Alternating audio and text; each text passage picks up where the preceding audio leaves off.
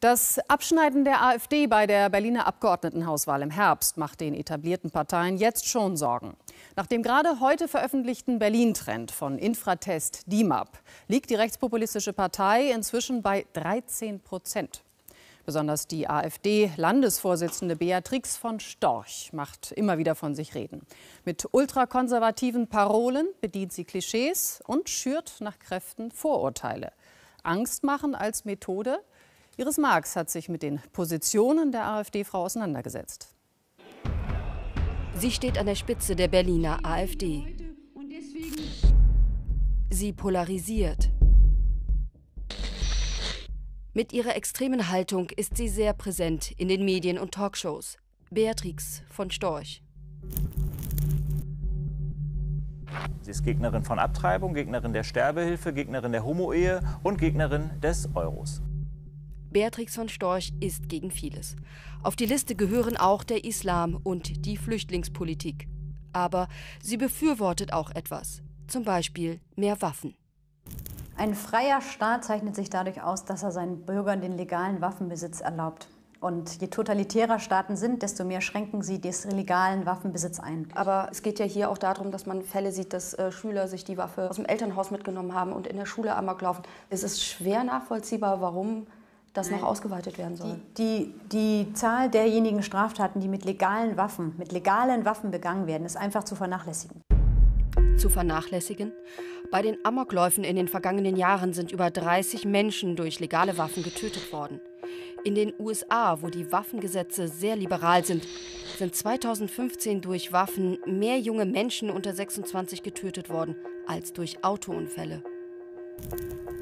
Schlagzeilen machte Frau von Storch auch, als sie auf die Frage, wollt ihr etwa Frauen mit Kindern an der grünen Wiese den Zutritt mit Waffengewalt verhindern, antwortete ja.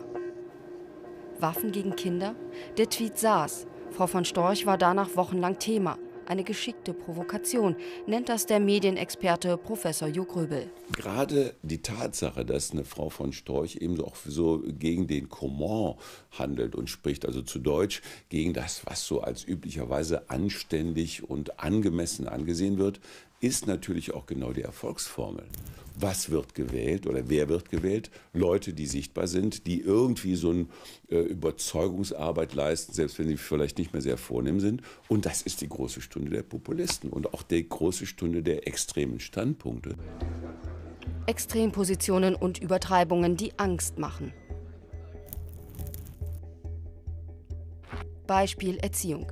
Das Kinderwohl sei in Gefahr weil wir sowas haben wie den äh, Bildungsrichtlinien der Weltgesundheitsorganisation oder der Bundeszentrale für gesundheitliche Aufklärung, wo für 0- bis 4-Jährige die frühkindliche Masturbation empfohlen wird, die Anleitung für die frühkindliche Masturbation für 0- bis 4-Jährige.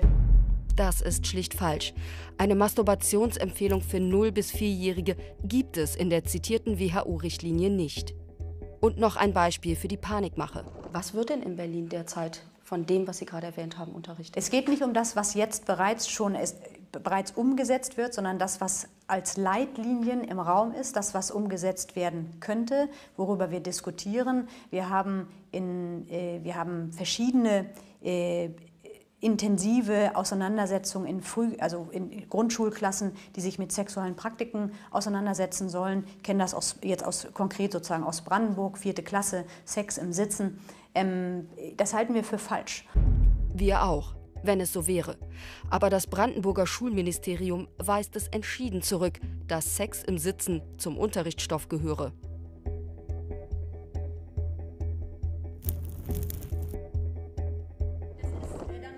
Zu den Medien hat Frau von Storch ein gespaltenes Verhältnis. Sie lässt sich als GEZ-Rebellin feiern, Sie sehe es nicht ein, für das öffentlich-rechtliche Programm zu zahlen.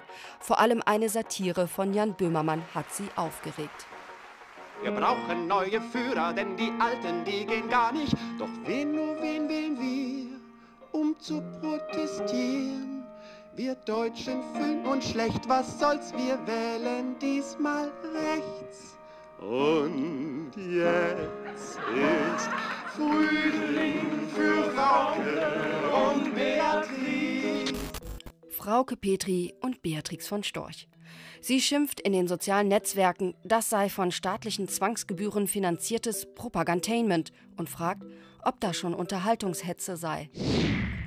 Sobald aber Böhmermann über den türkischen Präsidenten Erdogan herzieht, ergreift sie plötzlich Partei für die Pressefreiheit.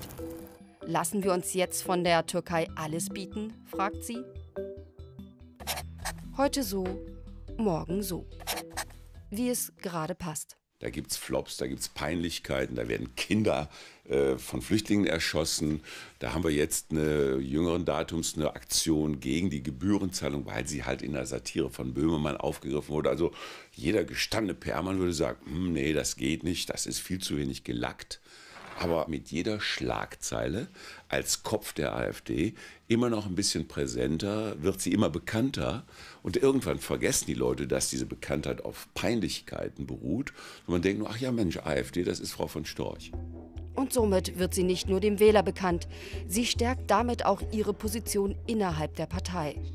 Das geht noch so lange gut, bis der Wähler dieses Spiel durchschaut.